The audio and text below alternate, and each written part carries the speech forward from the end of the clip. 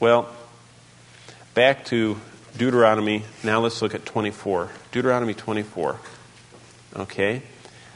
Because I want to share with you if you want to be a godly dad and husband, there's some biblical areas that we need to address. In Deuteronomy 24, and look at verse 5.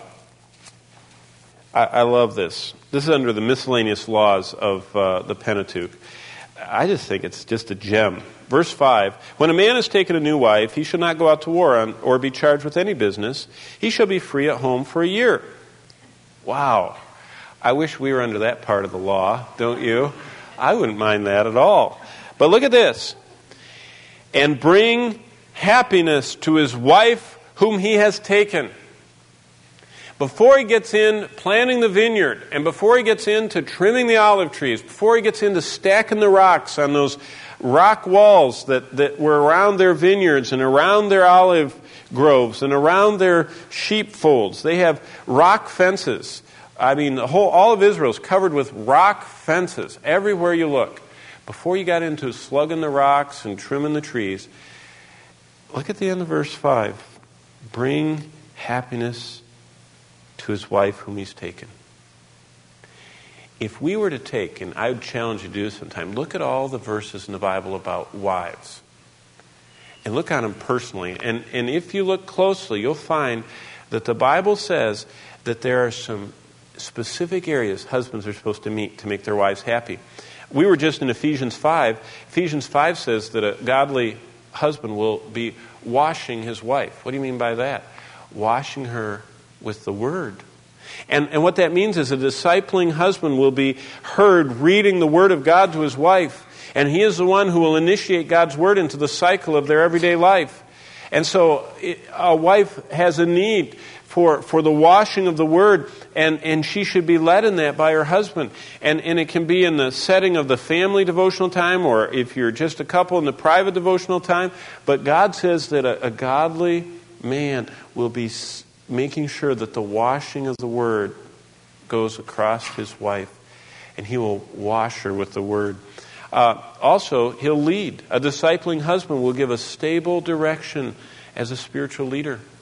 You know, the Lord says that the husband is supposed to love the wife as Christ loves the church. What does Christ say? He says, I am the shepherd, and, and the good shepherd, he, he leads his sheep and he feeds and cares for them. So, what does that mean? A husband, as an under shepherd of Christ, leads and gives stable direction to his family. A wife needs a man to lead her. Uh, also, a wife needs her husband to need her. A discipling husband tells his wife she is meeting the vital needs in his life that no other woman can meet. That's why the heart of the husband safely trusts in her. He does not give his heart to anyone else. And there has to be that needing. Um, the Lord says, uh, You'll seek me and find me when you seek for me with what? All your heart. That's a key to marriage. What did Jesus say in the Sermon on the Mount? If your eye is single, focused on one, your whole body's full of light. She needs to know you need her, you lead her, you wash her, cherish her. Um, it's it's uh, a discipling husband allows his wife to see and hear that he cherishes her and delights in her as a person. Uh, back to Ephesians 5. I mean, um, it, it says there in Ephesians 5, and of course these are all the way through the scriptures, but it says that, that no one um, has ever hated themselves, but they nourish and cherish their own bodies. Verse 29. And, and it says that that's the attitude that a godly man who's discipling his wife exhibits toward her, that he cherishes her. That, that just like, you know, we wouldn't, uh, you know, sit on a thorn bush purposefully, we would not allow our beloved one either. If we cherish her as ourself, we protect and, and the whole concept of cherishing. A discipling husband allows his wife to see and hear. He cherishes her and delights in her. And, and a corollary to that is protecting her. A discipling husband shows he understands his wife by protecting her in areas of limitation. And that's, that's the idea of a shared life. If, if, you, uh, if your lives correspond to one another, as, as Genesis 2 says they're supposed to, we're supposed to have lives that correspond to one another. Now, the Hebrew word is very interesting. It's the word for uh, uh, something that's torn that fits exactly back together, or a broken pot that fits together. I remember when I was in high school, it was big. Uh, a lot of these kids would wear a half of something that fit together, and then they'd give the other half to someone that, that they had their, you know, had their class ring and all that stuff. I never had a class ring, never gave one away either, um, until I found Bonnie. Then I gave everything away to her. But uh, I remember it used to be so silly to see them. They'd come up and they'd put their, their two pieces together, you know, at school. But now when I think back, that is a biblical picture of marriage because that's the word corresponding fitting. And God says, Our lives, when He ordained uh, marriage, He made a partner for us whose life corresponds to us. And that He wants to glue us together and to have our lives uh, fill in the, the weaknesses and limitations of the other. And a godly husband will protect his wife. He will, he will uh, protect her by knowing her limitations as she knows his. He will cherish her. He needs her. He leads her. He washes her. Another one, he'll notice her.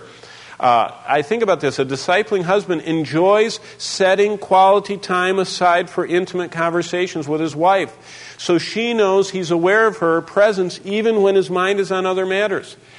That's so critical. You know what the Lord says? He says, I am a jealous God. That's one of his prime attributes. He's jealous. And he says, If you love me, you will stir yourself up, as it says in Isaiah 64, to take hold of me. He says, You will seek me when you seek for me with all your heart. Uh, 2 Chronicles 69 The eyes of the Lord run to and fro throughout the whole earth, looking for someone whose heart is completely toward him.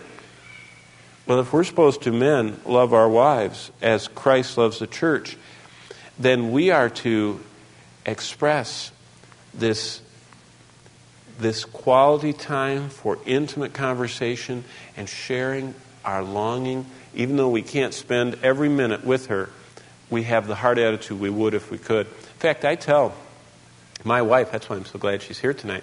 I say, I married Bonnie because she's the one person in the whole world I'd love to spend all my time with. All of it. I wish I could. I can't. I wish I could.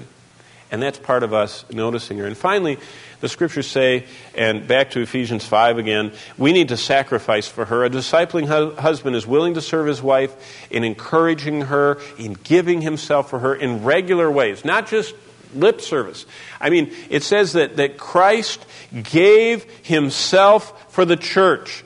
And so a husband, if he is Christ like, is giving himself. He is, he is sacrificing himself. He's saying no because we are all born self centered, self driven, self ish. And we have to say no and deny ourselves for our wife. Well, that's what a wife needs.